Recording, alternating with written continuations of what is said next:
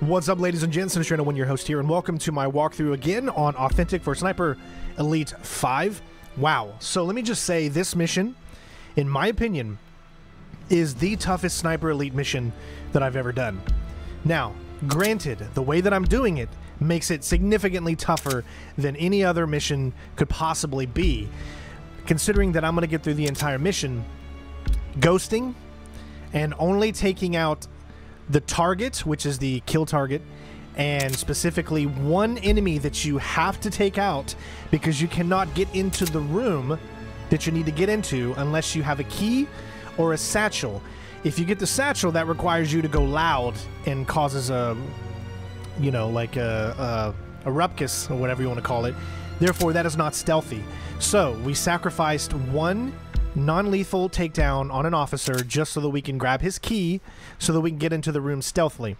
Other than that, just the one target and the stealthy uh, non-lethal takedown. This is such a tough mission. You have got to find the perfect routes. What makes it even tougher again is authentic because you don't know where the enemies are. You cannot mark them and man, so please, if you enjoy this video, make sure you leave a like because it took quite a while to figure everything out and do it. So, with that being said, this is Mission 3 still out there Spy somewhere. Academy. But I've uncovered a dossier referring to something called Operation Kraken. The dossier also details a high-level meeting about to take place at Beaumont Saint-Denis.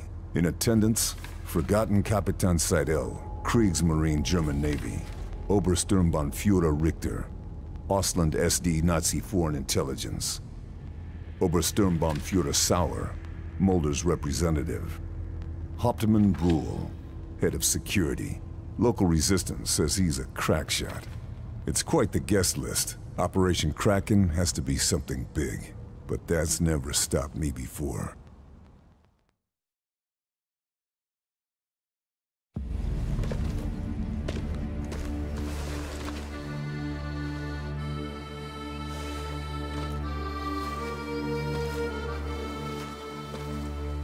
High-ranking Nazi officers, highly secure fortress. Shouldn't be a problem. Fabian Richter. He's on SOE's kill list and this meeting's guest list. Lucky him. All right, this is such a beautiful map. So, all right, everything is centralized in this castle, but it's the lead up to the castle.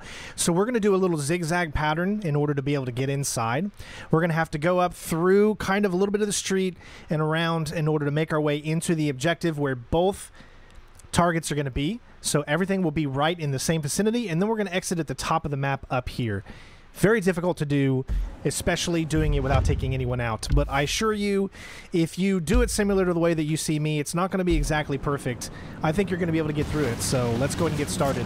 So the biggest thing that I can tell you about this early section is there is a sniper who is centralized right on you, meaning that he goes left and right, and he is looking directly in your direction for about, oh, say about five seconds, and then he'll move to the other side and he'll keep repeating.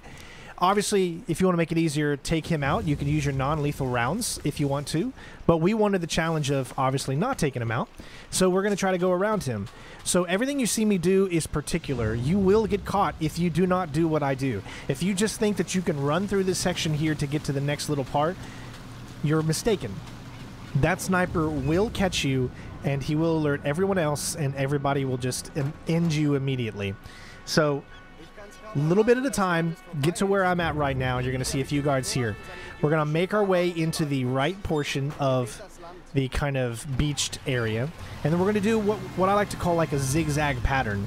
So we're going to go up a little bit on the right side, then we're going to switch back to the left side, and then go up a little bit, and then continue on. So it's too difficult to stay on the left side because of enemy placements and the sniper. There's not as much cover, there's not as much grass that you can do. On this side, as you'll see, there is significantly more grass for you to be able to maintain cover from, and that is why in the beginning section I think it's better. You can also use the zip line to come down to this area as well. So when the guard is looking directly at you, the sniper, you'll see a flash. That's how you know he's looking directly at you. If you don't see the flash, you can start moving up. However, you need to be quick, but you can't run. The moment you run, he's automatically going to start getting on you.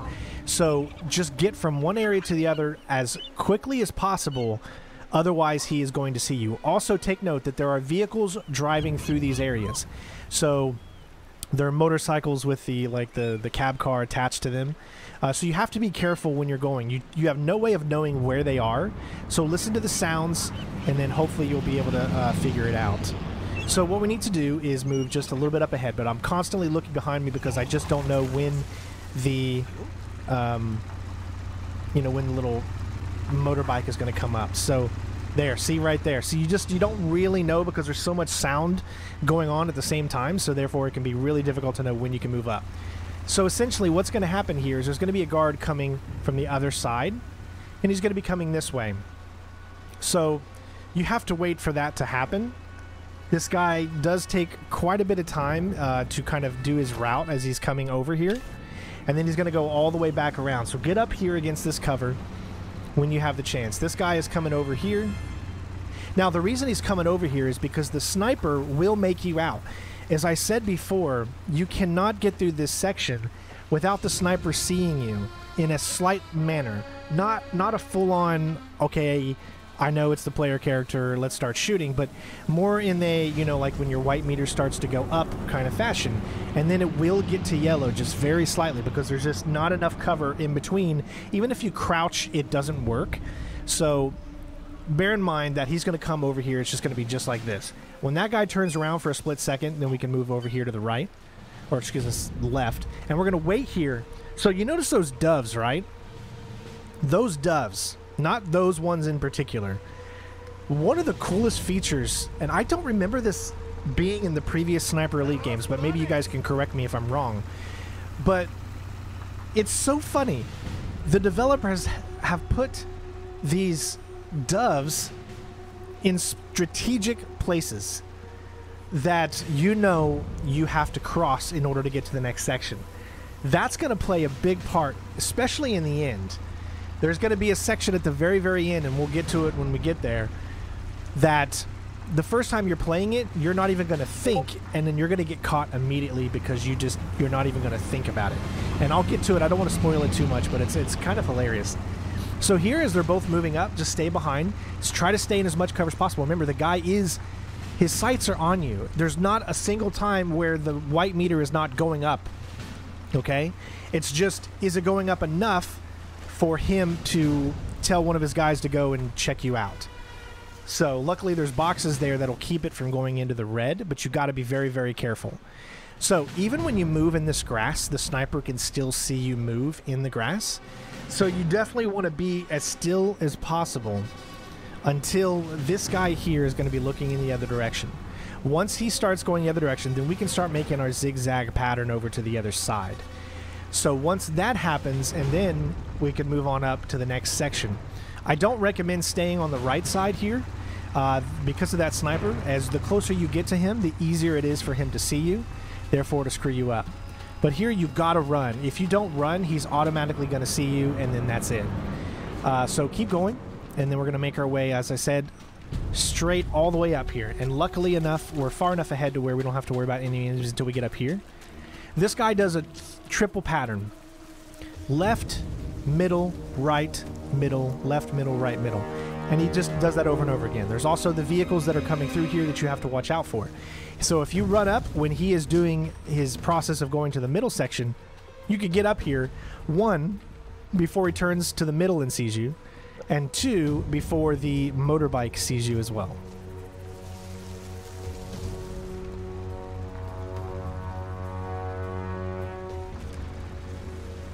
Once that's done, then you're going to get up Kraken, here. Whatever it is. Wait until this guy, you can barely see him all the way on the other the side. There's a guy on the left, he just It passed. could be taking place anywhere. Once he turns around, then you can go up. And then make your way to the left.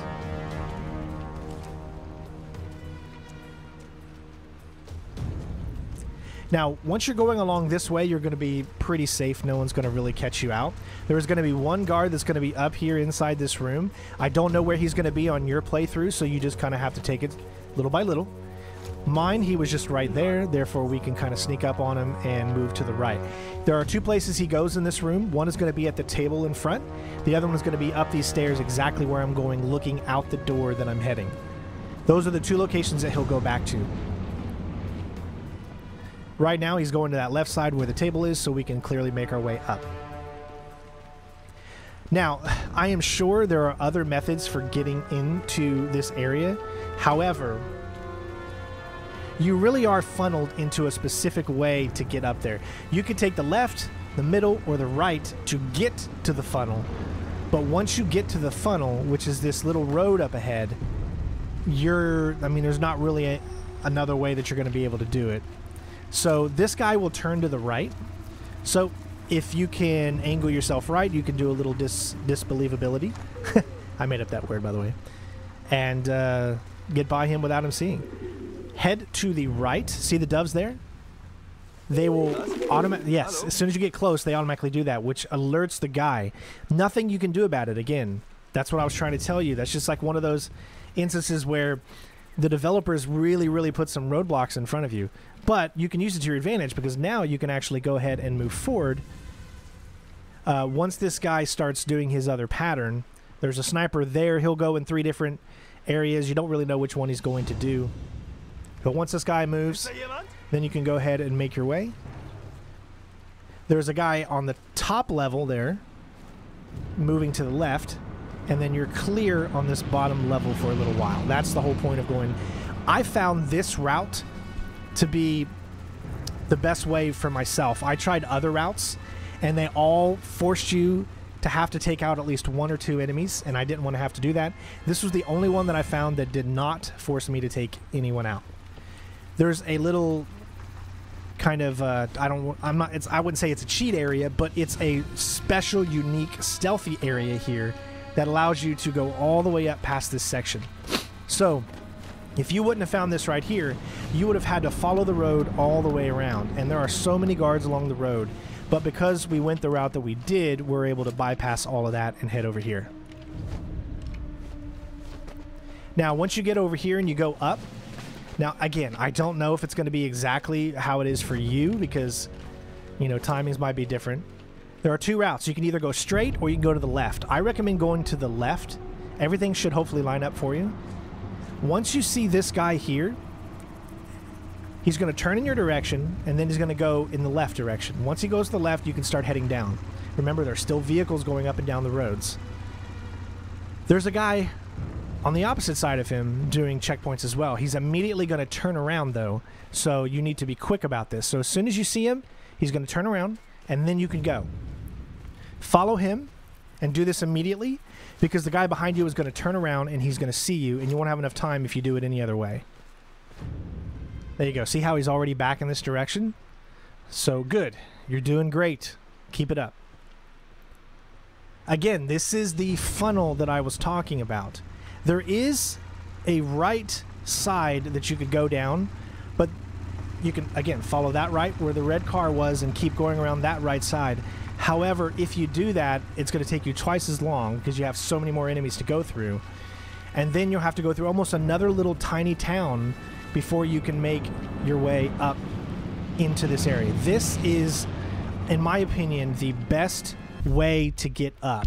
So we're going to do another save here always save. Like, don't be afraid of saving. I mean, yes, the challenge is not saving, but when you're playing this, I mean, this is super challenging, guys, and the frustration can get real because you have no idea where the enemies are, when they're coming, which direction they're looking because you have no HUD. So you're going to wait here a little bit.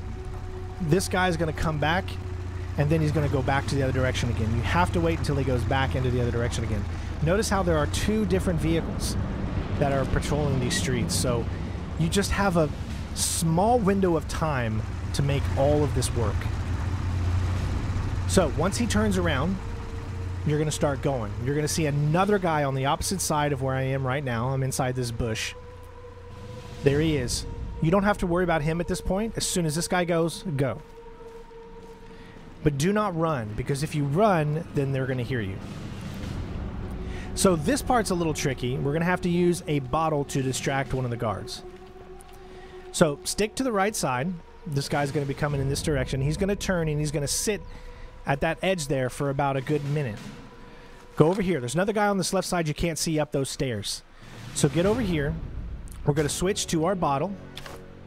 And we're going to wait just a few seconds, and we're going to throw the bottle in this left corner up here. Otherwise, you're going to get caught. You can't sit here without getting caught. Once he's taken the bait, then you can go up. Otherwise, he would can uh, continue to go down and see you, and the other guy would see you coming back the other direction. So really, you it's a bottle or nothing. That's what you have to do in that section there. Bottle or take out one of the enemies. All right, so we finally made it into the heart of the fortress. We're going to make our way around to the left, and we're going to head all the way up the stairs. In order to get to the target and the objective, you need to go all the way to the top. So keep finding routes. You don't have to do mine, but keep finding routes that are going to take you higher and higher. And once you get to the, the limit of how high you can go, that is where your objective is going to be. It's going to take you a little while to get there. Uh, there's going to be enemies in some weird places, but I have all of the routes pretty much memorized, knowing exactly what to do and when I need to do it. And of course, I always love using the trick of standing on someone's right side because you know they're going to turn to the left. Um, but I will say that there are instances where they don't always turn to the left. But if you've played these levels enough, then you really start to get an understanding of, of what you can do to get around these enemies. It can be very, very tough nonetheless, but still really fun. And don't forget, if you do like what you guys see, please support the channel. Really helps. Um, become a member, you know, uh, become a patron, donate, super chat, all that stuff. You can click that little thanks button on this video right now and support my family and I so we can continue to uh, to be able to do this. This is my full-time job. We are retired from the Army. However, I don't get a paycheck from the Army. I have disability going through, but it's not been approved yet. We'll see what that happens. But uh, other than that, this is what we do. So if you want to help support, that's how you can do it. So he's going to turn to the left, or at least he does in mine.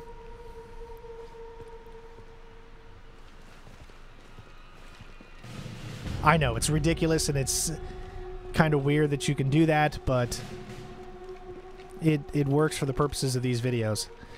We're going to make our way to the right. Now, there will be sometimes a guy coming through that other side, so you want to check the other side just to make sure that he's not there. These these guards have very long patterns of what they do. So now we're going to head more and more to the top, and we're getting to the uh, upper level where the actual target and the objective is going to be. You can essentially go ahead and run all the way up till you get to the semi-top. Don't go too far because there's going to be a guard looking in your direction.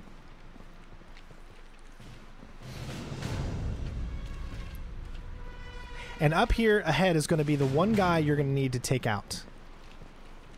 You're going to leave him unconscious, of course. Watch out for this guy. As soon as you uh, get in here, you'll get your achievement unlocked or whatever. Or not achievement, but your objective. You need to throw. The reason we're throwing is because if you don't, he's just going to take a very, very long time to come back. So just throw that there. That way you have an opportunity to go up.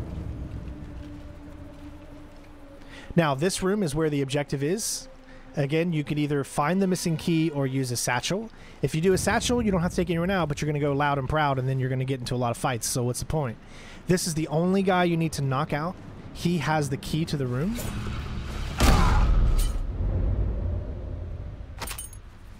Once you pick him up, you don't need to search him. You'll automatically pick up the room key. Hide him in this thing over here. If you go upstairs, you can also take out the guy with the sniper bullet from up there, but there's two other officers in the room, so there's no way to stealth that if you do that method. Here is the only way that I have found to stealth it. So there's three officers in this room. One of them is one of, is your kill target. He's the one that's in the back. So we're going to throw a bottle at the end here, you need to make sure you throw it far enough away to where they don't aggro.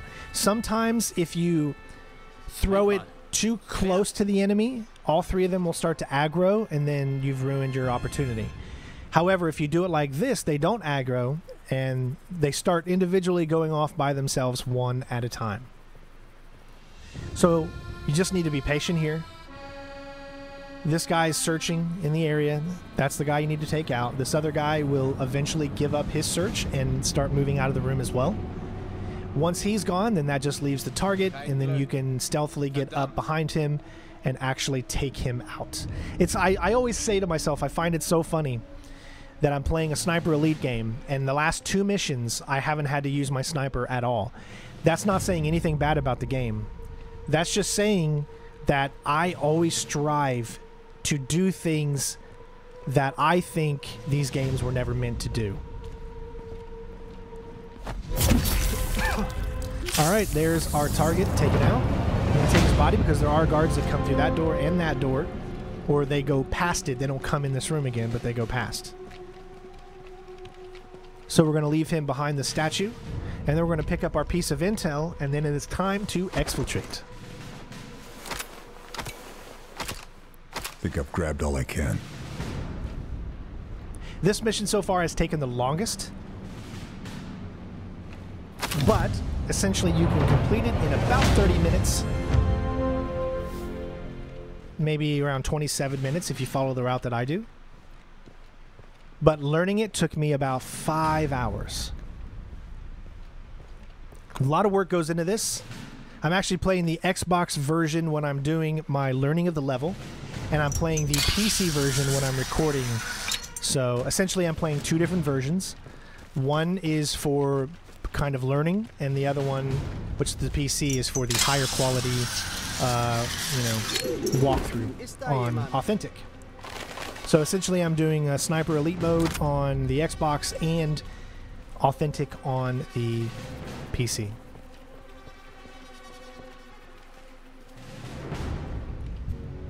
All right, so at this point, we're just making our way to the exfiltration. I showed you it was behind.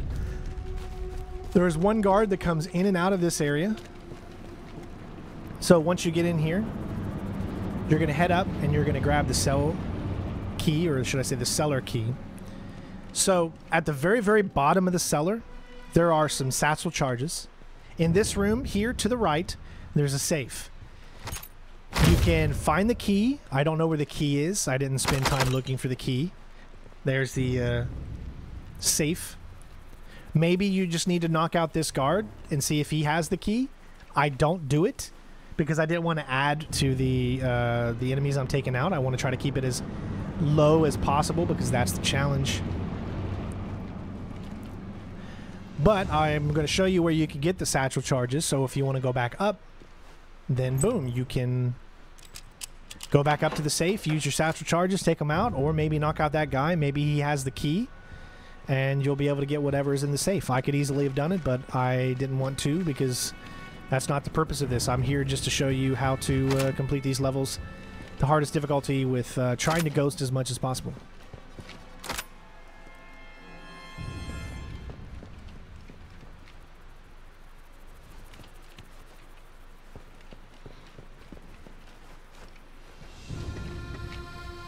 So in this game, there's not multiple areas for you to exfiltrate. There's always one specific area. So you have to follow whatever route that you need to get there. Down here is where the uh, satchel charges are going to be. And you pick that up and you can go get the safe if that's what you want. And here there's going to be one sniper. This is the one sniper that actually patrols the entire lookout of the exfiltration point. However, you can get around him pretty easy just by kind of screwing with his AI a little bit. So get up here, and you want him to slightly see you. I don't know why this happens, and I found this just off of a fluke. Um, the first time I went through here, I didn't know there was going to be a guard there because when you're playing on Sniper Elite mode, it shows your HUD, and it shows you where enemies are, but it doesn't tell you which direction. It just has like kind of a foggy area. However, when this guy slightly sees you, he decides to turn around and go back the opposite direction before he comes back and looks for you. It's so weird. I don't know if it's a glitch or some sort, but it was the way that I found to get around this guy. Otherwise, it would be a little more difficult to get around him because of his patterns, unless you just took him out. You see that little red shiny thing there on the right side next to the door? It's on the left of the door. Uh, that's like a gargoyle that you could shoot, I guess, to have it like land on someone. I'm not sure how that works. I haven't tried it, but let me know if any of you have tried those. I love the detail in these maps. They've done a Rebellion, I am so pleased with you. You've done a great job at uh, making this. At this point, you're free. The sniper guy is actually going in the other direction, which is why he will not see you, and you're good to go. At this point, you're pretty much good to go until you get to the very, very end where the exfil is. However, there's a guard that gets in your way big time. Sorry if you guys hear my dog in the background barking. Uh, we've got um, family over, so uh, he wants to go downstairs and see them, but we can't let him because grandma, you know, uh, her legs aren't very strong, and Nintendo likes to kind of jump on you. So, all right. So once you come up here, don't worry about this guy at the top. You're free to go. And we're going to make our way to the right. There are two different routes. I'm just showing you the right side route.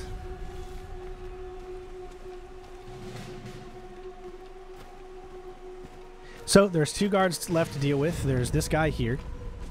You don't really have to worry about him. He's going to turn back around, so go ahead and get back on the other side here. Now, oh boy. What can I say about this guy? This next guy that we're going to deal with. The developers were so smart. They knew there were going to be people like me that were going to that wanted to get around him without taking him out.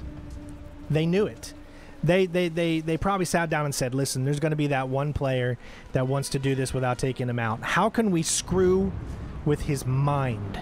Well, I'm going to tell you. Remember I told you about those doves, right?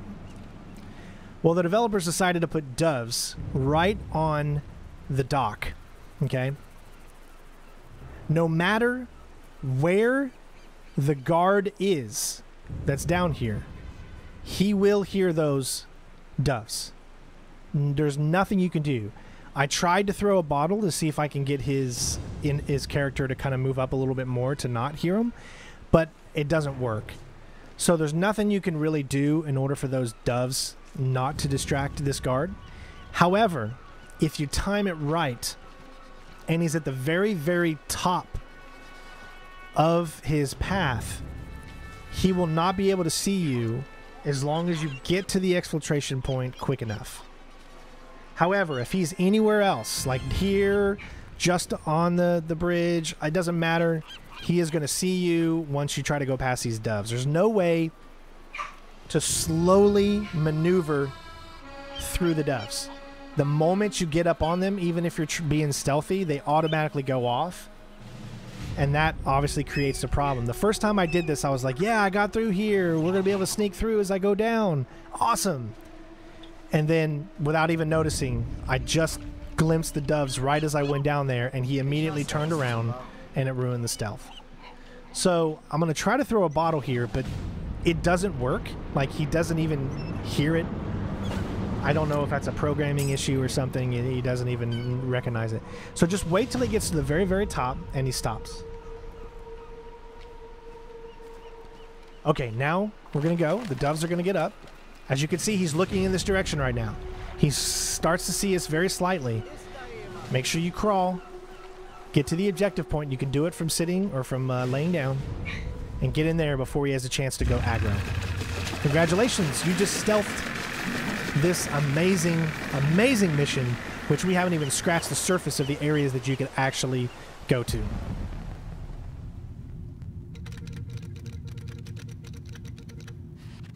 Fairburne executed successful infiltration and exfil of Beaumont Saint-Denis. Der Schatten war in Beaumont Saint-Denis und wir haben ihn verloren? Äh, wahrscheinlich. Wir müssen vom Schlimmsten ausgehen. Dass er von der Fabrik in Matressac weiß. Verdoppeln Sie die Sicherheit. Die Fertigung muss laufen. Operation Krake wird nicht durch einen einzigen Mann gefährdet werden. All right, so as I said earlier, I'm going to be taking my time through these missions. I'm not putting them out there fast because I really, really want to do this perfect and I want to show you guys the authentic way. So again, we're not doing the optional objectives. Mission complete and the kill list. Those are the two ones that we're completing. This is the best stealth I was able to get. I'd love to know if you were able to get on the very, very bottom. We had a detection score of five. So if you got below that detection score, doing it the way that I did, let me know in the comments below. Otherwise, leave that like, support the channel, become a member, click the join button, do a thanks. All that stuff goes to helping the channel out. We'll see you next time. Peace out. Bitches.